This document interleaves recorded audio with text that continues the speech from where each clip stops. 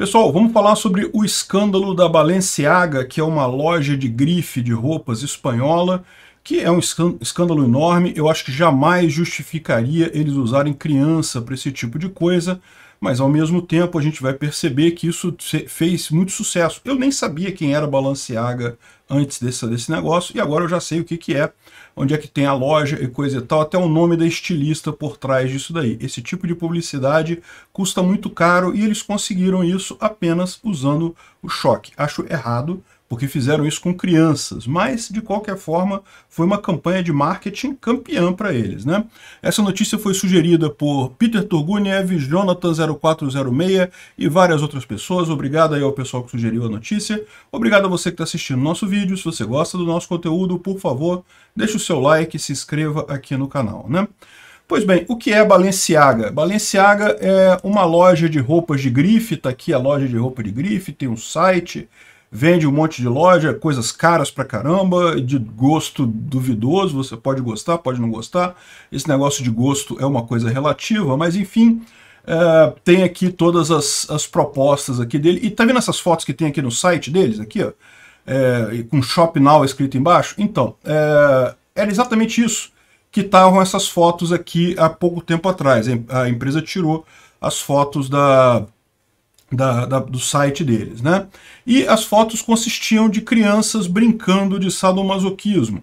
Então você tem aqui uma menininha com um, um ursinho de pelúcia vestido de coisas sadomasoquistas aqui, né?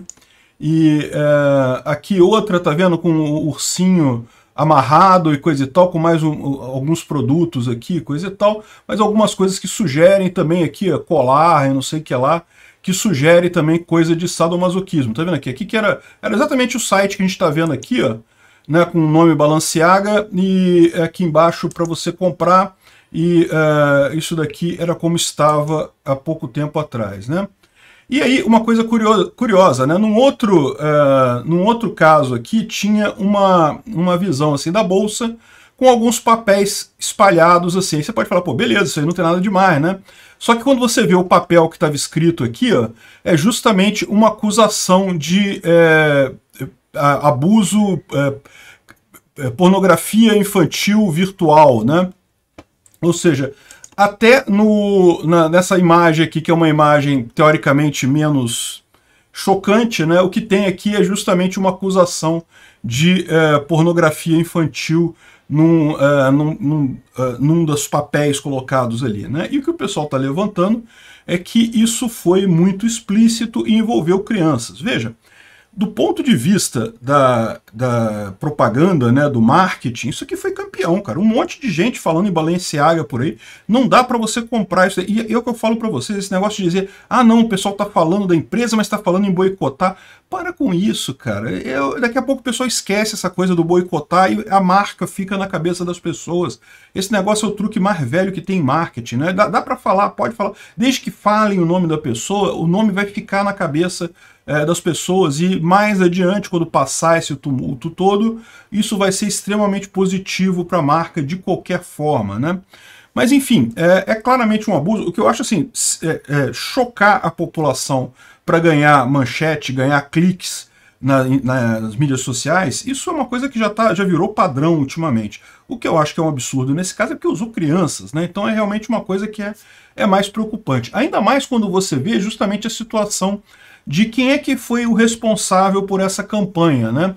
Que talvez tenha usado até um documento em que essa pessoa mesmo tenha sido foi acusada de pornografia infantil, né, botou o documento à vista na coisa ali, né? A gente não sabe, tá? Não estou dizendo que é isso, é, até porque não dá para ler todo o documento aqui, dá para ler só só um pedaço aqui, dá para perceber que é uma questão de pornografia infantil, mas é, aqui, ó, a pornografia e sexo entre menores, é, que não sei o que é lá, enfim, dá para ver que é um caso de pornografia infantil aqui, mas não dá para saber o que, que, é exatamente, né?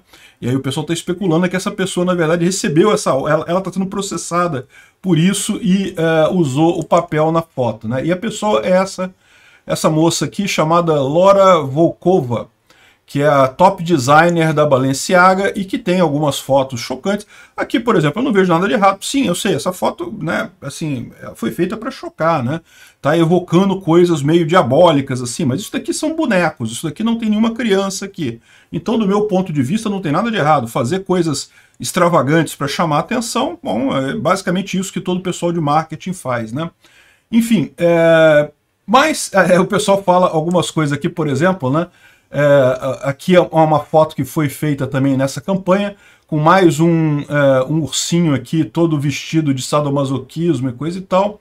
E o pessoal tá, tá vendo aqui ó, que é Baal Lenciaga, né? Baal é um, é um nome, era o nome de uma religião, de um deus de uma religião que tinha ali no Oriente Médio. Não sei se eram os sumérios ou os babilônios, mas eles tinham um deus, era o deus deles, o Baal, né? E aí, quando os judeus é, chegaram na região, com a religião deles, passaram a entender o Baal como um deus do mal, que seria o, o, o diabo, né, o Satã, esse tipo de coisa. Né? Mais uma vez, isso daqui, eu não vejo problema nenhum nisso, tá usando palavras que está querendo dizer que ela é satânica e coisa e tal, meio que não tem nada, nada contra isso. O meu problema aqui é a criança, é envolver a criança nesse negócio. Isso daí que eu acho que é questionável nesse caso, né? E tem mais algumas acusações aqui sobre ela e coisa e tal, sobre esse tipo de, de posicionamento. E aqui nessa thread aqui tem uma série de imagens que estavam no Instagram da Lota Volkova, né, que é da, da estilista que fez a campanha, que são muito, mas muito mais perturbadores do que essa imagem aqui. É, é, tão perturbador que eu não posso mostrar aqui no YouTube. Se eu mostrar aqui no YouTube, tá arriscado cortarem meu canal aqui, né, por pornografia. Eu vou deixar o link na descrição do vídeo se você está curioso de ver, mas eu não recomendo muito não. Tem coisas ali realmente extremamente sugestivas, muito, mas muito pior do que a campanha que ela fez para Balenciaga, né? Enfim, é, uma artista que quer chocar, isso é uma coisa que é perfeitamente válido. É, se você não gosta do tipo de arte, simplesmente você não compra, né? Ninguém é obrigado a comprar a arte dela, a observar a arte dela. A questão toda aí que eu tenho algum questionamento nessa história é com relação às crianças que participaram disso daí. Porque, lembra, você pode dizer assim, ah não, mas isso daí, é, a, a, criança pode ter tido o consentimento dos pais, né? A criança é menor, então do, do ponto de vista legal, se o pai consentiu dela participar nesse tipo de situação, é perfeitamente legítimo, mas é o que eu falo para você. Na ética libertária, a visão é um pouco diferente. Os pais eles têm a curadoria sobre a criança de fato, a criança não tem ainda a capacidade de tomar todas as decisões, mas os pais eles só podem tomar decisões no sentido que for claramente no interesse, no melhor interesse da criança, dela se evoluir, se tornar um adulto é, capaz. Né? Então aí você teria uma zona bastante complicada. Não estou dizendo que não seja, de repente você pode dizer que é, é, válido esse tipo de coisa, afinal não parece que as crianças foram é, agredidas ou, ou qualquer coisa assim, né? elas estão numa situação estranha, mas não não parecem ter sido agredidas nem nada, então você pode, não estou dizendo que seja errado, mas é uma zona cinza certamente que você tem aí, né? E é, muita gente está falando que de fato existem acusações de é, que ela teria um relacionamento com um, um, pedófilo. O namorado dela, que aparece em algumas fotos aqui, talvez esse cara aqui, eu não sei, ele seria, uh, ela, ela aqui, né? Ele estaria aqui do lado, ela teria um relacionamento com um pedófilo. Eu também não sei se é verdade, mas é o que estão acusando isso daqui, né? Enfim, esse é o escândalo da Balenciaga, né? E aí a Balenciaga, ela respondeu dizendo que ah, a campanha poderia ter sido melhor, a gente poderia ter feito as coisas diferentes e coisa e tal. E, mas assim, mas não uh, tirou, tirou as, as imagens todas do site, do Instagram e coisa e tal. É, a companhia diz que é, condena de forma veemente abuso de crianças.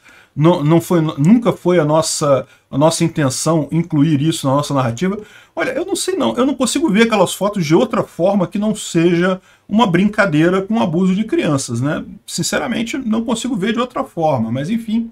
Aí fala aqui que, ah, não, que foi uma, um erro ter, ter colocado os ursos com isso, com as crianças e não sei o que lá, e enfim, a, eles assumem a responsabilidade, pedem desculpas e coisa e tal, enfim. Uh, teve mais reações, a Kim Kardashian uh, ficou abalada, que uh, tá re vai reavaliar a relação com a marca. Teve uma outra pessoa aqui, é, Evelyn Hagley, eu confesso que eu não sei quem é, mas aparentemente alguém conhecida, cortou as roupas todas da Balenciaga que ela tinha. Enfim, muita gente ficou extremamente chateada com o que aconteceu. A própria Damares criticou a Balenciaga, vai ficar só nas desculpas e coisa e tal. Enfim, a marca está sendo muito criticada. Esse é o episódio como um todo. Né? Então, eu acho que é bastante preocupante mesmo essa, essa exposição de crianças, é algo que não, não deveria acontecer. Mas, ao mesmo tempo, veja, do ponto de vista econômico, a marca marcou um golaço. Né? Tá, todo mundo agora sabe o que é Balenciaga. Eu nem sabia que existia esse tipo de coisa. Né? Que interesse eu tenho nisso.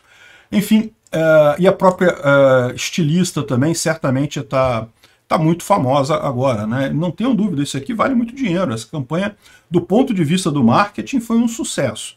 Mas não, não tenha dúvida, extremamente questionável. Obrigado por assistir o vídeo até o final. Além de curtir, compartilhar e se inscrever no canal, considere se tornar patrocinador com valores a partir de R$ 1,99 clique no botão Seja Membro abaixo para saber as condições e vantagens de patrocinar o canal. Mais informações sobre o nosso projeto, visite nossos sites indicados na tela.